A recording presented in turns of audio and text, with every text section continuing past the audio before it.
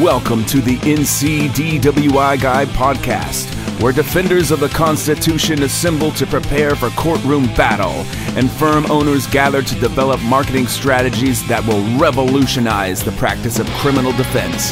Here's your host, the NCDWI guy, Jake Minick. Hello, fellow freedom fighters, and welcome to episode 98 of the NC DWI Guy podcast. It is not the critic who counts, not the man who points out how the strong man stumbles or where the doer of deeds could have done them better. The credit belongs to the man who is actually in the arena, whose face is marred by dust and sweat and blood, who strives valiantly, who errs, who comes short again and again because there is no effort without error and shortcoming. But who does actually strive to do the deeds, who knows great enthusiasms, the great devotions, who spends himself in a worthy cause, who at the best knows in the end the triumph of high achievement, and who at the worst, if he fails, at least fails while daring greatly, so that his place shall never be with those cold and timid souls who neither know victory nor defeat. And that, my fellow freedom fighters, is The Man in the Arena by Theodore Roosevelt. One of my favorite poems. That uh, poem really sums up to me the heart of a DWI trial lawyer. And that is what we are going to be talking about today. We are continuing our DWI Master Series, which we began on episode 90. And over the last couple of weeks, we have reflected on what are some of the qualities, character traits, things that we should be concentrating on to become DWI masters. Back in episode 96, we talked about education, student mindset, becoming a student of DWI law. Last episode, episode 97, we talked about the importance of marketing in becoming a DWI master. Today, we talk about taking cases to trial. That's how you become a DWI master. This is one of those extremely important characteristics of a great trial lawyer, of a great DWI lawyer, is taking cases to trial, repeatedly trying and erring. And that sentiment in Theodore Roosevelt's poem of it is the person that is trying and failing and erring but giving it a go that should be held up. That's the person to emulate. I once heard a lawyer uh, at, at a Georgia CLE that I attended many years back say that you're not a real DWI trial lawyer until you've lost 10 in a row. That's when you know you're a good uh, or a real, as he said, DWI trial lawyer. And the point of that mindset is not that you want to lose cases or that we don't like winning. It's that you're going to take tough cases to trial. That's when you know you're a, a real DWI trial lawyer. Is you're going to take the tough cases to trial, the cases that are difficult to win. DWI cases are hard for the defense to win. That's not true in every case, but the vast majority of DWI cases, the deck is stacked against us. And yet we get to stand up for the Constitution. We get to stand up and fight for our client. This is a quote by Thomas Jefferson that puts in perspective the importance of what we do as criminal defense lawyers. I consider trial by jury as the only anchor ever yet imagined by man by which a government can be held to the principles of its constitution. I'm going to read that one more time and let it sink in because it's extremely important. I consider trial by jury as the only anchor ever yet imagined by man by which a government can be held to the principles of its constitution. We are the freedom fighters. We really are the defenders of the Constitution when somebody comes into our office that is charged with a DWI, there may be a factual defense in terms of it was medication, they weren't actually impaired.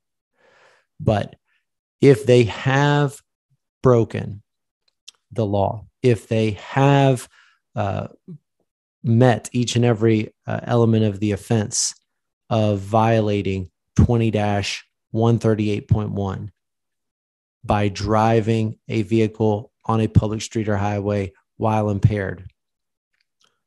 That's not the end of the analysis because despite a statutory violation that creates a traffic crime, just because somebody violates a traffic crime does not give government actors, police officers, the ability to violate the Constitution or to themselves violate a statutory provision. There are certain requirements that must be met under the Constitution. And as a criminal defense lawyer, as a DWI lawyer, we are blessed with the ability to go to bat every day, to wake up every day ready to protect and defend the Constitution, as we swore in our oath of office that we would do we get to go to bat for the Constitution. And it is a privilege and an honor to be able to do that. And it's exciting to be able to do that. So don't ever forget how important our job is. It is fundamentally important. Criminal defense lawyer Clarence Darrow once said, The only real lawyers are trial lawyers, and trial lawyers try cases to juries the only real lawyers are trial lawyers, and trial lawyers try cases to juries. Reading that quote puts a smile on my face. I can't help it. That that that's the the ultimate sentiment of what it means to be a DWI master. When you completely bought into that and you are of the mindset that yes, I am ready to be in standing in front of a jury arguing like mad for my client. That's when you met this definition of being a real lawyer. In North Carolina, we have the bifurcated district and superior court set up for misdemeanor cases. So, in the context of DWI, you get a bite at the apple in district court in trial, and then you get the right to appeal up to superior court exercise that right. Exercise that right to a jury trial for your client. Find the issues that you can present to a jury. Do not let the word guilty from a district court judge end a case that deserves to be appealed. Don't do it. This is how we become DWI masters. DWI masters explore every angle of a case, they fight every angle of the case. If you want to become a DWI master, you got to fight to the bitter end, fight through the appeal process, fight like mad in front of a jury, and you're going to love every second of it. You're going to love every second of it. But it really is this mindset of I want to take cases to trial that separates lawyers that are good at DWI, lawyers that handle DWI cases from the masters of driving while impaired. Because when you take cases to trial repeatedly, when you get after it in the courtroom, You get that practice in that allows you to explore issues that you would not otherwise get to explore. You get to explore these issues. It's so important to be able to explore these issues through practicing and taking tough cases to trial. Bruce Lee once said, Practice makes perfect. After a long time of practicing, our work will become natural, skillful, swift, and steady. Practicing makes you a dangerous lawyer. Dangerous lawyer. When you practice, it shows. When you take cases to trial, it shows. Everybody in the courtroom can tell that you have done it, that you have been there before.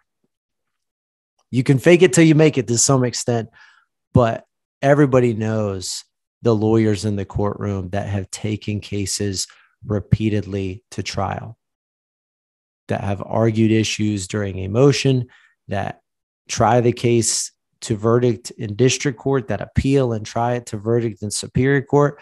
When there's a good enough legal issue, that appeal it to the court of appeals. Fight him. Fight them when they deserve to be fought. And if you do it enough, practice enough by taking these cases repeatedly to trial, as Bruce Lee says, it becomes natural, it becomes habitual, it becomes second nature. You will become skillful, as he says, swift. You'll know where you can go in and attack the state's case just like that. Just like that. And steady, right? No panic constantly in control of the courtroom, constantly in control of where the case is headed. So, how do we get good at this? How do we practice? We take cases to trial. And if you want to try a case the right way, then you better prepare like mad for that case. You better prepare like mad for that trial. Litigate every issue go after every issue. Don't get strong armed into some plea if it's not going to hurt you to take it to trial. I think we all too often, and this conversation that we have within the office many times, and I felt this way before in the past, is what if I don't have a great issue to take to trial? Should I take that case in front of a judge and try the case? If your client wants a trial, first of all, they have a right to take the case to trial. But I think much of the time we sit there analyzing in our own heads should I try to convince my client to enter a guilty plea because there's just nothing here and I don't want to waste the judge's time. I don't want to look silly in front of the judge. I don't want to look like I don't have an issue to argue. And there is some legitimacy to that. If you truly don't have an issue, then that may not be the right route to go. It may be best to really tell your client very candidly and openly there is nothing here for us to attack. If we take the case to trial, we're going to lose. Maybe there's negative consequences to that, or maybe it's just we're wasting the judge's time, and that could, you know, cause some sort of minor uh, reflection in terms of the sentence imposed or the consequences that you're going to face.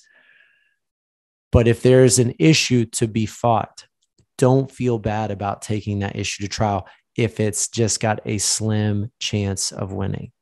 If you got a PC that doesn't look great, but your client doesn't have anything to lose, they wanted to take it to trial, use it as an opportunity to grow in your practice, to put your skills into practice, to put the education that we talked about in episode 96 into practice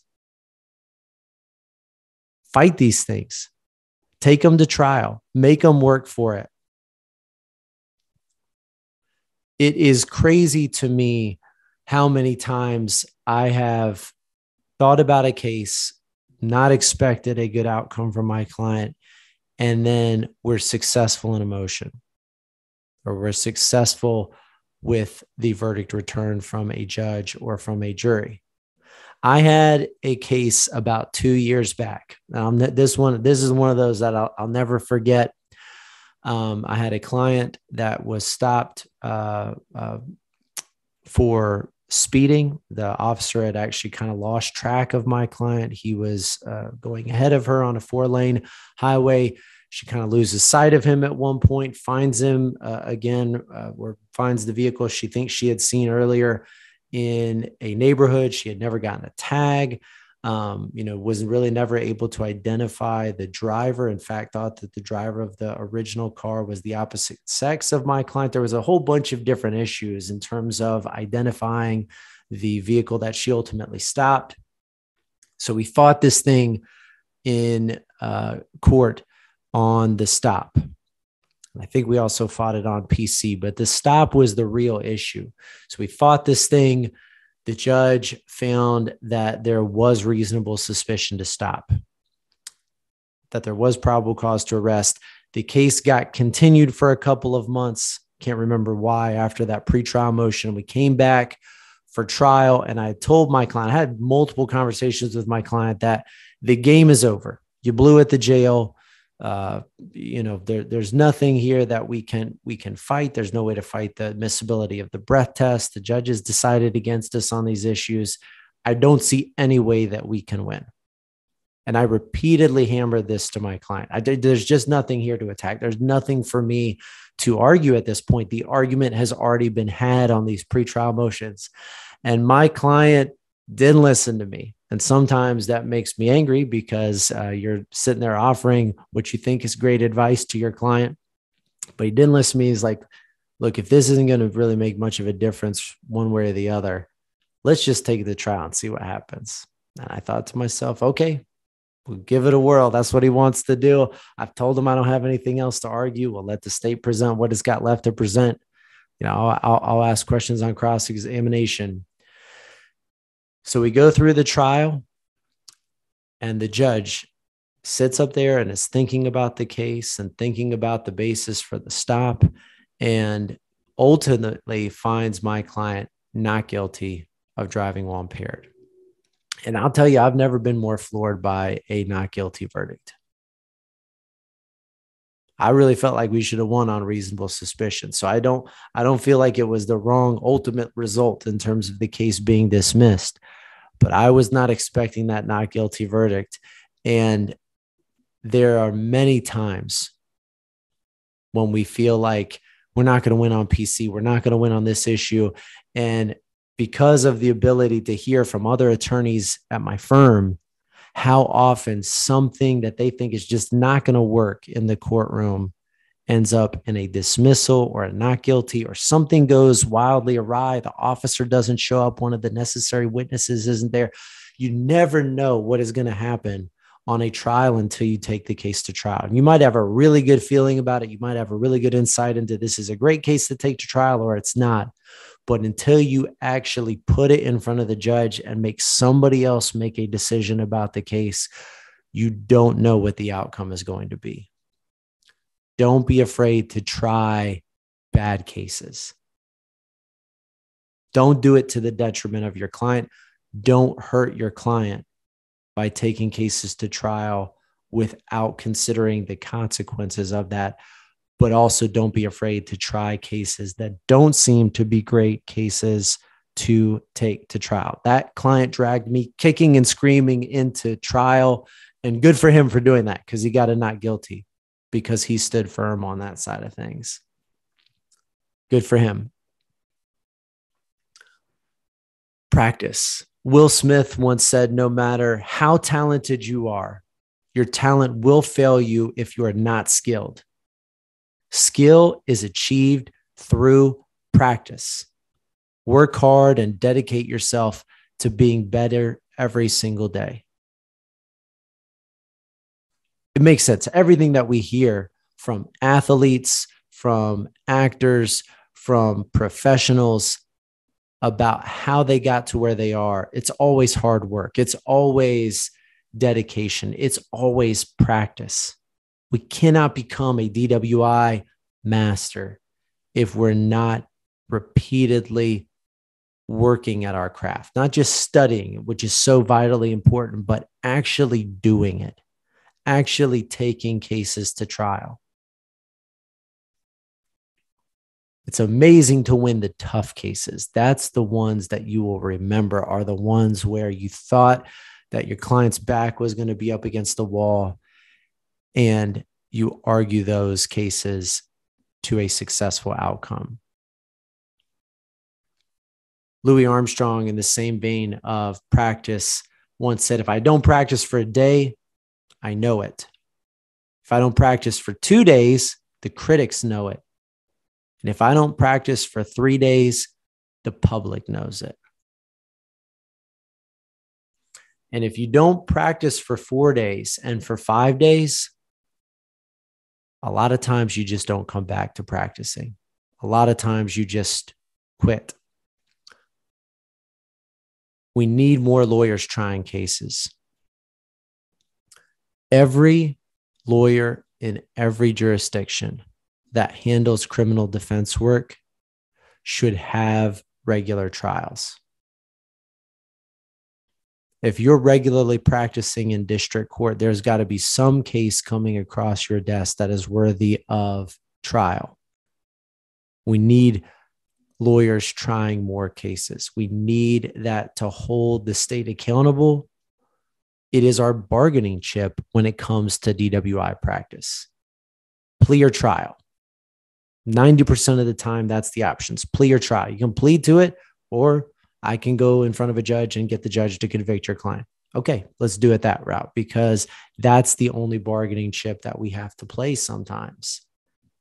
And the more we try the difficult cases, I'm telling you right now, the more we try the difficult cases, the more willing the state is going to be to dismiss the cases that should be dismissed in jurisdictions where defense attorneys are regularly taking DWI cases to trial, the good, the bad, and the ugly, the state is way more likely to get rid of crappy DWI charges because they're not going to have time for it. If everybody's pleading guilty, you're going to see 0.06 cases getting tried by the state. If everybody is pleading guilty, you're going to see bad PC cases uh, getting tried. You just just put it in front of the judge. It's when we push these things to trial as a group that we can have that kind of impact for the state to have to really think about which cases it wants to push. It's a collective effort. It is not an individual effort to make that change. And so if you're trying to be one of the DWI masters that's at the front end of this push and inspiring other people in your particular jurisdiction to push cases to trial, show that it's okay to take bad cases to trial. Show that it's okay to take low probability cases to trial. Get in there, argue the case law, argue in front of the judge, make the state work for it. Show that to the other members of the defense bar. One thing that we have to do in order to try more cases is eliminate barriers to trial.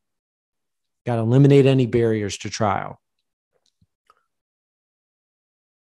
One of the ways to do this, practical point here, is to be ready for trial early. One of the barriers of trial is that it can take three, four, six, eight court dates, at least in Buncombe County, to take a case to trial. So I don't know what this looks like across the state. Some some uh, counties are more stingy on continuances for both sides than uh, the place that I pr- primarily practice of, of Buncombe, but every place is different. But it may take multiple multiple court dates to get to trial. So one barrier of entry is you've got a limited amount of time. If you're driving to a remote county, it's easier to do a trial in two court dates than it is to do it in six. So if you're going to take a case to trial, be ready to go early. Get yourself prepared from the get go because you will get worn down by the state. The state knows that time is on its side for the most part. Your, your client's going to get tired of coming back and forth to court. It is a barrier to trial for cases to get continued and for the time game to get played. Don't let your fees be a barrier of entry to trial. Get discovery. Get discovery on cases. You have to have the discovery in order to effectively defend a DWI case. Get that discovery, get it as early as you possibly can, and bounce your case off of another attorney in your jurisdiction.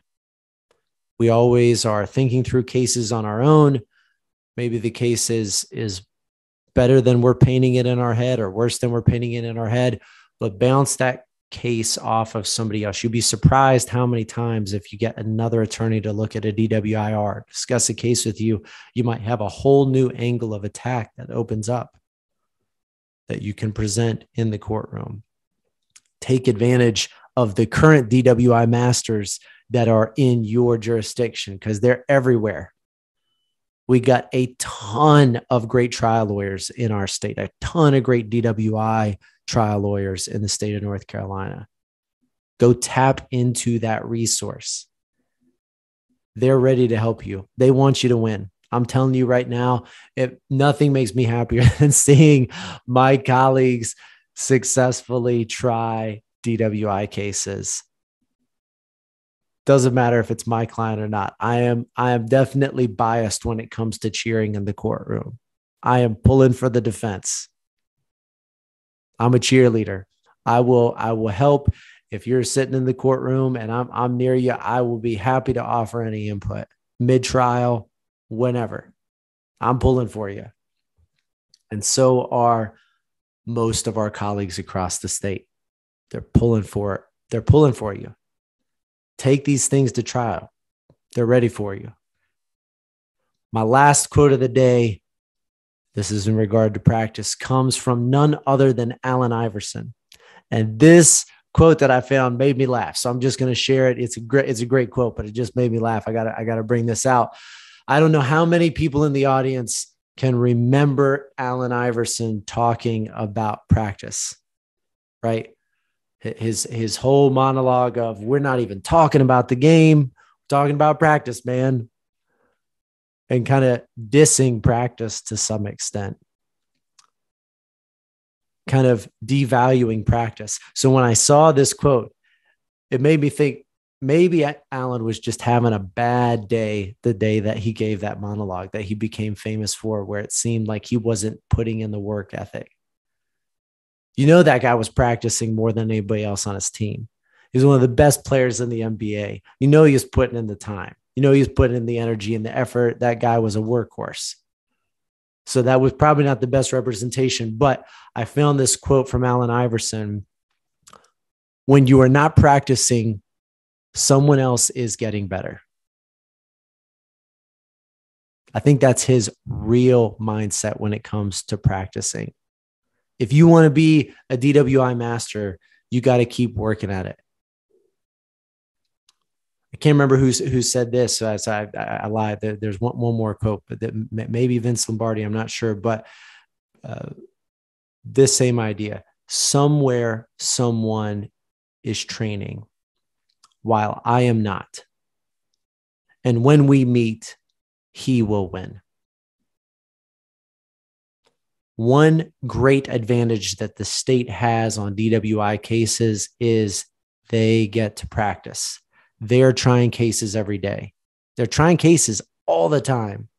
As a prosecutor, you get to try a ton of cases. Now, you don't get to prepare for them very, very much. So that's an advantage to the defense is that we get to prepare for our cases. But advantage to the state is practice. So the only way to keep up with them is to take cases to trial and get practice yourself. The state has to try a lot of bad cases. They're used to it. They're used to trying bad cases, cases where the outcome may be kind of somewhat known ahead of time.